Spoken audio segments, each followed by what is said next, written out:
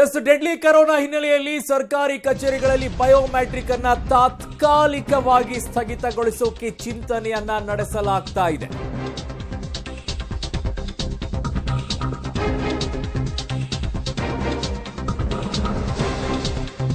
ಕೇಂದ್ರದ ಮಾದರಿಯಲ್ಲೇ ರಾಜ್ಯದಲ್ಲೂ ಕೂಡ ಬಯೋಮೆಟ್ರಿಕ್ ಅನ್ನ ತಾತ್ಕಾಲಿಕವಾಗಿ ಬಂದ್ ಮಾಡೋಕೆ ನಿರ್ಧಾರವನ್ನ ಮಾಡಿದ್ದಾರೆ. ಒಂದು ತಿಂಗಳ ಮಟ್ಟಿಗೆ ಬಯೋಮೆಟ್ರಿಕ್ ಸ್ಥಗಿತಕ್ಕೆ ಚಿಂತನೆಯನ್ನ ನಡೆಸಲಾಗ್ತಾ ಇದೆ. ಕಾರ್ಪೊರೇಟ್ ಐಟಿ ಸಂಸ್ಥೆಗಳಲ್ಲಿ ಸ್ಥಗಿತಕ್ಕೆ ಈಗಾಗಲೇ ಸೂಚನೆಯನ್ನ ಕೂಡ ನೀಡಲಾಗಿದೆ. ಮೈಸೂರಿನಲ್ಲಿ ವೈದ್ಯಕೀಯ ಶಿಕ್ಷಣ ಸಚಿವ ಸುಧಾಕರ್ ಅವರು ಈ ಹೇಳಿಕೆಯನ್ನ ತೆಗೆದು ಹೇಳಿದ್ದಾರೆ. ಜೊತೆಗೆ ಮುನ್ನೆಚ್ಚರಿಕೆಯನ್ನ ತೆಗೆದುಕೊಂಡಿದ್ದಾರೆ. ರಾಜ್ಯದ ಸರ್ಕಾರಿ ಕಚೇರಿಗಳಲ್ಲಿ ಬಯೋಮೆಟ್ರಿಕ್ ಅನ್ನ ತಾತ್ಕಾಲಿಕವಾಗಿ ಸ್ಥಗಿತಗೊಳಿಸುವ ಚಿಂತನೆಯನ್ನ ನಡೆಸಿದ್ದಾರೆ. ಕೊರೋನಾ ಸೋಂಕು ಭೀತಿಯಿಂದ ಸರ್ಕಾರ ಈ ನಿರ್ಧಾರಕ್ಕೆ ಬರ್ತಾ ಇದೆ ಅನ್ನೋದನ್ನ ಈಗಾಗಲೇ ಸುಧಾಕರ್ ಅವರು ಹೇಳಿಕೆಯನ್ನ ಕೊಟ್ಟಿದ್ದಾರೆ. ಒಂದು ತಿಂಗಳ ಮಟ್ಟಿಗೆ ಸ್ಥಗಿತಕ್ಕೆ ಚಿಂತನೆ ಅಂದ್ರೆ ತಾತ್ಕಾಲಿಕವಾಗಿ ಬಯೋಮೆಟ್ರಿಕ್ ಅನ್ನ ಸ್ಥಗಿತಗೊಳಿಸೋಕೆ ಸರ್ಕಾರ ಚಿಂತನೆಯನ್ನ ನಡೆಸಿದೆ. ಈಗಾಗಲೇ ಐಟಿ ಕಂಪನಿಗಳಿಗೆ ಸೂಚನೆಯನ್ನ ನೀಡಿದ್ದಾರೆ ಅಂತ ಸುಧಾಕರ್ ಅವರು ಹೇಳಿದ್ದಾರೆ ಸಚಿವರು.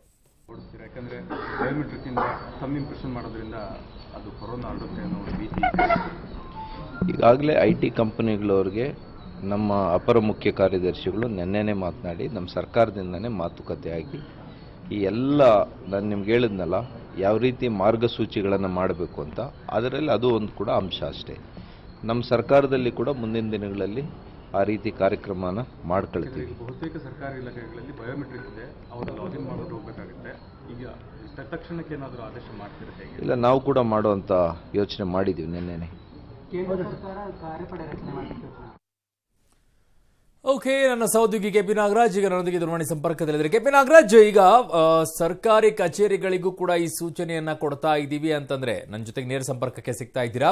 ಸೊ ಹಾಗಿದ್ರೆ ಇದು ಒತ್ತಾಯ ಪೂರ್ವಕವಾಗಿ ಈಗ ಚಿಂತನೆಯನ್ನು ನಡೆಸ್ತಾ ಇರೋದಾ? ಇಲ್ಲ ಮುಂಜಾಗ್ರತಾ ಕ್ರಮವಾಗಿ ಈಗಾಗಲೇ ಸುಧಾಕರ್ ಅವರ ಚಿಂತನೆ ಮಾಡಿದ್ರ ವೈದ್ಯಕೀಯ ಸಚಿವರು? ಅರುಣ್ ಈಗಾಗಲೇ ಐಟಿ ಕಂಪನಿಗಳಲ್ಲಿ ಬಯೋಮೆಟ್ರಿಕ್ ವ್ಯವಸ್ಥೆಯನ್ನು ತಾತ್ಕಾಲಿಕವಾಗಿ ಸ್ಥಗಿತವನ್ನಗೊಳಿಸಲಾಗಿದೆ. ಮತ್ತು ಈಗಾಗಲೇ ರಾಜ್ಯ ಸರ್ಕಾರವು ಕೂಡ ಹಲವು ರೀತಿಯಾದಂಥ ಮುಂಜಾಗ್ರತೆಗಳ ಕ್ರಮಗಳನ್ನ ಕೊರೋನಾ ವೈರಸ್ನ ವಿಚಾರದಲ್ಲಿ ತೆಗೆದುಕೊಂಡಿದ್ದು, ಅದೇ ರೀತಿಯಾಗಿ ಬಯೋಮೆಟ್ರಿಕ್ನ ವಿಚಾರದಲ್ಲೂ ಕೂಡ ಒಂದು ತಿಂಗಳ ಮಟ್ಟಿಗೆ ತಾತ್ಕಾಲಿಕವಾಗಿ ಸ್ಥಗಿತಗೊಳಿಸುವಂತಹ ಒಂದು ಚಿಂತನೆಯನ್ನು ಕೂಡ ಆರಂಭ ಮಾಡಿದ್ದೇವೆ. ಬಹುತೇಕ ಒಂದು ಅಥವಾ ಎರಡು ದಿನಗಳಲ್ಲಿ ಆ ಒಂದು ಆದೇಶ ಜಾರಿಯಾಗುವಂತಹ ಸಾಧ್ಯತೆಗಳಿದೆ ಅನ್ನುವಂತಹದ್ದು ಈಗಾಗಲೇ ಡಾಕ್ಟರ್ ಸುಧಾಕರ್ ಅವರು ಸ್ಪಷ್ಟಪಡಿಸಿದ್ದಾರೆ. ಅಲ್ಲಿಗೆ ಸುಧಾಕರ್ ಅವರು ಎಲ್ಲಾ ರೀತಿಯಾದಂತಹ ಅಂದ್ರೆ ಕೊರೋನಾ ವೈರಸ್ ವಿಚಾರದಲ್ಲಿ ಯಾವ್ಯಾವ ರೀತಿಯಂತ ಮುಂಜಾಗ್ರತಾ ಕ್ರಮಗಳನ್ನ ಕೈಗೊಳ್ಬೋದು, ಆ ಎಲ್ಲಾ ಮುಂಜಾಗ್ರತಾ ಕ್ರಮಗಳನ್ನ ಕೈಗೊಳ್ಳೋದಕ್ಕೆ ಕೂಡ ರಾಜ್ಯ ಸರ್ಕಾರ ಈಗಾಗಲೇ ನಿರ್ಧಾರ ಮಾಡಿ ಆ ಎಲ್ಲಾ ಕ್ರಮಗಳನ್ನ ಕೂಡ ಕೈಗೊಳ್ತಾ ಇದೆ. ಅದರ ಮುಂದುವರಿದ ಭಾಗವೆಂಬಂತೆ ಈಗ ಬಯೋಮೆಟ್ರಿಕ್ ಅನ್ನು ತಾತ್ಕಾಲಿಕವಾಗಿ ಸ್ಥಗಿತಗೊಳಿಸುವಂತ ನಿರ್ಧಾರಕ್ಕೆ ಸರ್ಕಾರ ಬಂದಂತಿದೆ. ಅರುಣ್. ಅಲ್ಲ, ನನ್ನ ಪ್ರಶ್ನೆ ಇದ್ದಿದ್ದು ಏನಂತಂದ್ರೆ ಇದು ಒತ್ತಾಯ ಪೂರ್ವಕವಾಗಿ ಸರ್ಕಾರಿ ಕಚೇರಿಗಳಲ್ಲೂ ಕೂಡ ಬಂದ್ ಮಾಡೋಕೆ ಮುಂದಾಗ್ತಾ ಇದ್ದಾರಾ? ಇಲ್ಲ, ಐ ಟಿ ಕಂಪನಿಗಳಿಗೆ ಸೂಚನೆಯನ್ನ ಕೊಟ್ಟಾಗ್ಲೇನೆ ಈ ಚಿಂತನೆ ಸರ್ಕಾರದಲ್ಲಿ ಇತ್ತ ಅನ್ನೋದು ನನ್ನದು. ಅಲ್ಲ, ಈ ಮೊದಲು ಆರಂಭದಲ್ಲಿ ಐ ಟಿ ಕಂಪನಿಗಳಿಗೆ ಮಾತ್ರ ಇದನ್ನ ಸ್ಥಗಿತ ಮಾಡಬೇಕೆನ್ನುವಂತ ಸೂಚನೆಯನ್ನ ಕೊಟ್ಟಿದ್ರು. ಆದ್ರೆ ಈಗ ಸರ್ಕಾರಿ ವ್ಯವಸ್ಥೆಯಲ್ಲೂ ಕೂಡ ಅದನ್ನು ಮಾಡಿಬಿಡೋಣ. ಯಾಕಂದ್ರೆ ಒಂದು ತಿಂಗಳ ಮಟ್ಟಿಗೆ ಚಾನ್ಸ್ ತೆಗೆದುಕೊಳ್ಳಬಾರದು ಅನ್ನುವಂತ ಒಂದು ಉದ್ದೇಶದಿಂದ ಈಗ ಅದರ ಮುಂದುವರಿದ ಆದೇಶವನ್ನ ಪ್ರಸ್ತಾಪವನ್ನು ಮಾಡ್ತಾ ಇರುವಂತದ್ದು. ಇದರಲ್ಲಿ ಒತ್ತಾಯ ಗಿತ್ತಾಯ ಅಂತ ಏನು ಬರೋದಿಲ್ಲ ಅರುಣ್. ಆದ್ರೆ ಒಂದು ಐ ಟಿ ಕಂಪನಿಗಳಲ್ಲಿ ಆ ಒಂದು ವ್ಯವಸ್ಥೆಯನ್ನು ಆದ ನಂತರದಲ್ಲಿ ಯಾಕೆ ಸರ್ಕಾರದ ಬಯೋಮೆಟ್ರಿಕ್ ನಲ್ಲೂ ಕೂಡ ಈ ರೀತಿಯಾಗಿ ವೈರಸ್ಗಳು ಬರಬಹುದು ಅನ್ನುವಂತ ಒಂದು ಆತಂಕವೂ ಕೂಡ ಜನರಲ್ಲೂ ಮತ್ತು ಅಧಿ- ಅಧಿಕಾರಿಗಳಲ್ಲೂ ಕೂಡ ವ್ಯಕ್ತವಾಗಿರುವಂತಹ ಕಾರಣಕ್ಕೋಸ್ಕರವಾಗಿ ಅಲ್ಲೂ ಕೂಡ ಸ್ಥಗಿತ ಮಾಡುವಂತಹ ನಿರ್ಧಾರಕ್ಕೆ ಸರ್ಕಾರ ಬರ್ತಾ ಇದೆ ಅರುಣ್. ಅಲ್ಲ, ಒಬ್ಬ ಬಂದಾಗ ಒಂದ್ಸಲ ಪಂಚ್ ಮಾಡಬೇಕು, ಹೋಗ್ಬೇಕಾದ್ರೆ ಒಂದ್ಸಲ ಪಂಚ್ ಮಾಡ್ಬೋದು. ಸ್ಯಾನಿಟೈಸರ್ನ ಯೂಸ್ ಮಾಡ್ಬಿಟ್ರೆ ಮುಗಿದೋಯ್ತಲ್ಲ, ಅದರಲ್ಲಿ ಯಾವ ಸಮಸ್ಯೆನೇ ಇರಲ್ಲ ಅಲ್ಲ. ಸೊ ಇದೊಂದು ರೀತಿಯಾಗಿ ಈ ಸಮಯವನ್ನ ಕದ್ದು ಮುಚ್ಚಿ ಓಡಾಡುವಂಥ ಕೆಲಸಗಾರ ಇರ್ತಾರಲ್ಲ, ಕೆಲಸ ಕಳ್ಳರು. ಸೊ ಅಂತವ್ರಿಗೆ ಇನ್ನೊಂದಿಷ್ಟು ಎಡೆ ಮಾಡಿ ಕೊಟ್ಟಂಗಾಗತ್ತೆ ಒಂದ್ ತಿಂಗಳ ಮಟ್ಟಿಗೆ. ಸ್ಯಾನಿಟೈಸರ್ ಯೂಸ್ ಮಾಡಕ್ಕೆ ಯಾಕಾಗಲ್ಲ ಆದ್ರೆ ಅರುಣ್ ಕರೆಕ್ಟ್ ನೀವು ಹೇಳ್ತಾ ಇರುವಂಥದ್ದು ಆದ್ರೆ ಆಗಂದ ಮಟ್ಟಕ್ಕೆ ಚಾನ್ಸ್ ತೆಗೆದುಕೊಳ್ಳುವಂಥ ಪರಿಸ್ಥಿತಿಯಲ್ಲಿ ಸರ್ಕಾರವೂ ಕೂಡ ಇಲ್ಲ. ಮತ್ತು ಜನರು ಬಯೋಮೆಟ್ರಿಕ್ ಐ ಟಿಗಳಲ್ಲಿ ಬಯೋಮೆಟ್ರಿಕ್ನಿಂದ ವೈರಾಣುಗಳು ಬರೋದಾದ್ರೆ ಸರ್ಕಾರದ ವ್ಯವಸ್ಥೆ ಬಯೋಮೆಟ್ರಿಕ್ನಲ್ಲಿ ಯಾಕೆ ಬರೋದಿಲ್ಲ ಅನ್ನುವಂಥ ಪ್ರಶ್ನೆಗಳನ್ನು ಕೂಡ ಸರ್ಕಾರಿ ನೌಕರರು, ಸರ್ಕಾರಿ ಅಧಿಕಾರಿಗಳು ಕೂಡ ಕೇಳ್ತಾ ಇದ್ದಾರೆ. ಒಂದು ವೇಳೆ ಈ ಕ್ರಮಗಳನ್ನ ಕೈಗೊಳ್ಳದೇ ಇದ್ರೆ, ನೀವು ಹೇಳಿದಂತಹ ಒಂದಿಷ್ಟು ಜನರನ್ನ ಪತ್ತೆ ಹಚ್ಚುವುದು ಅಥವಾ ಒಂದಿಷ್ಟು ಜನರನ್ನ ಬೈಗಳರಾಗದೇ ರೀತಿಯಲ್ಲಿ ಮಾಡುವಂತ ಸಲುವಾಗಿ ಈ ಕ್ರಮ ಕೈಗೊಳ್ಳದೆ ಮತ್ತೊಂದು ಅನಾಹುತಕಾರಿ ಬೆಳವಣಿಗೆ ಏನಾದರೂ ಆಗ್ಬಿಟ್ರೆ ಅದಕ್ಕೆ ಜವಾಬ್ದಾರಿ ಸರ್ಕಾರವೇ ಆಗಬೇಕಾಗುತ್ತೆ. ಆ ಕಾರಣಕ್ಕೋಸ್ಕರವಾಗಿ ರಾಜ್ಯ ಸರ್ಕಾರ ಈಗ ಈ ರೀತಿಯಾದಂತಹ ಒಂದು ನಿರ್ಧಾರಕ್ಕೆ ಬರ್ತಾ ಇದೆ. Arun. Okay K P Nagaraj ನಿಮ್ಮೆಲ್ಲ ಮಾಹಿತಿಗೆ ಧನ್ಯವಾದಗಳು. ಒಂದು ಸಂತಸದ ಸುದ್ದಿ ಏನು ಅಂತಂದ್ರೆ, ಕರ್ನಾಟಕ ಕೊರೋನಾ ಭೀತಿಯಿಂದ ಪಾರಾಗಿದೆ ಅನ್ನೋದನ್ನ.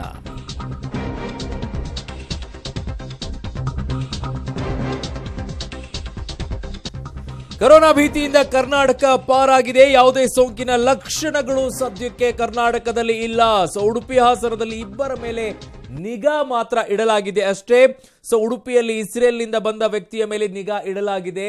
ಆದರೆ ಕರೋನಾ ಭೀತಿಯಿಂದ ಕರ್ನಾಟಕ ಪಾರು ಅನ್ನೋದನ್ನ ಸುಧಾಕರ್ ಅವರು ಹೇಳಿದ್ದಾರೆ. ಹಾಗಾಗಿ ನಾವು ಈ ವೈರಾಣುವನ್ನು ರಾಜ್ಯದಲ್ಲಿ ಬರ್ದಿರ ಇರುವಂಥ ರೀತಿಯಲ್ಲಿ ಕ್ರಮಗಳನ್ನು ತಗೊಂಡಿದ್ದೀವಿ. ಮಾಸ್ಕ್ಗಳನ್ನ ಹಾಕುವಂತ ವಿಚಾರದಲ್ಲಿ ಒಂದಿಷ್ಟು ಕನ್ಫ್ಯೂಷನ್ಸ್ ಇದೆ. ಜೊತೆಗೆ ಅದನ್ನ ಕೂಡ ಒಂದು ದಂಧೆ ರೀತಿಯಾಗಿ ಮಾರ್ಪಡಿಸಿದೆ ಕರ್ನಾಟಕ ಇಲ್ಲ ನಾನು ಈಗಾಗಲೇ ಭಾಳ ಪ್ರತಿ ದಿವಸ ನಾನು ಸ್ಪಷ್ಟೀಕರಣ ಕೊಡ್ತಾ ಇದ್ದೀನಿ ಇದ್ರ ಬಗ್ಗೆ. ಯಾರಿಗೆ ಆ ರೋಗದ ಲಕ್ಷಣಗಳಿರ್ತದೆ, ಅವರು ಮಾತ್ರ ಮಾಸ್ಕ್ಗಳನ್ನು ಬಳಸಬೇಕು. ಮತ್ತು ಅದರಲ್ಲಿ ಕೂಡ ಎನ್ ನೈಂಟಿ ಫೈವ್ ಅಂತ ಏನಿದೆ, ಆ ಮಾಸ್ಕ್ ಬೇಕಾಗಿರ್ತಕ್ಕಂಥದ್ದು ನಿಜವಾಗಿಯೂ ಕೂಡ ಯಾರಿಗಾದರೂ ಪಾಸಿಟಿವ್ ಇದ್ದರೆ ಇದುವರೆಗೂ ಅಂಥದ್ದು ಪಾಸಿಟಿವ್ ಒಂದೇ ಒಂದು ಪ್ರಕರಣ ಇಲ್ಲ ರಾಜ್ಯದಲ್ಲಿ. ಹಾಗಾಗಿ ಎನ್ ನೈಂಟಿ ಫೈವ್ ಬೇಕಾಗಿರುವಂಥ ಪ್ರಶ್ನೆನೇ ಇಲ್ಲ, ಅದು ಉದ್ಭವನೇ ಆಗಲ್ಲ. ಹಾಗಾಗಿ ಸರ್ಜಿಕಲ್ ಮಾಸ್ಕ್ ಮೂರು ಪದರೆ ಇರತಕ್ಕಂಥ ಸರ್ಜಿಕಲ್ ಮಾಸ್ಕ್ ಏನಿದೆ ಅದನ್ನು ಅದು ರೋಗದ ಲಕ್ಷಣಗಳು ಕೆಮ್ಮಿದ್ದವ್ರಿಗೆ ನೆಗಡಿ ಇದ್ದವ್ರಿಗೆ ಜ್ವರ ಇದ್ದವ್ರಿಗೆ ಬಳಸ್ಕೊಂಡ್ರೆ ಸಾಕು. ಅಲ್ಲ ಎಲ್ಲ ಸರ್ಕಾರಿ ಆಸ್ಪತ್ರೆಗಳು ಕೂಡ ಈ ತರ ಮೈಸೂರಿನಲ್ಲಿ ಆಗಿರೋ ಸ್ಪೆಷಲ್ ವಾರ್ಡ್ಗಳು ಮಾಡಿದೆ ಹೌದು ನಾವು ಮಾಡಿದ್ದೀವಿ. ಈಗಾಗಲೇ ಒಟ್ಟಾರೆಯಾಗಿ ಎರಡೂವರೆ ಸಾವಿರ ಹಾಸಿಗೆಗಳು ಕರ್ನಾಟಕ ರಾಜ್ಯದಲ್ಲಿ ಇವತ್ತು ನಾವೆಲ್ಲ ಕೂಡ ರೆಡಿಯಾಗಿ ಇಟ್ಕೊಂಡಿದ್ದೀವಿ ಒಂದೇ ಒಂದು ಕೇಸ್ ಇಲ್ಲ. ಆದರೂ ಕೂಡ ನಾವು ಮುನ್ನೆಚ್ಚರಿಕೆ ಕ್ರಮಗಳನ್ನು ತೆಗೆದುಕೊಂಡಿರ್ತಕ್ಕಂಥದ್ದು. ಏನಾದರೂ ಅಂತ ಪರಿಸ್ಥಿತಿ ಬಂದರೆ ನಾವೆಲ್ಲದಕ್ಕೂ ಕೂಡ ರೆಡಿ ಇದ್ದೀವಿ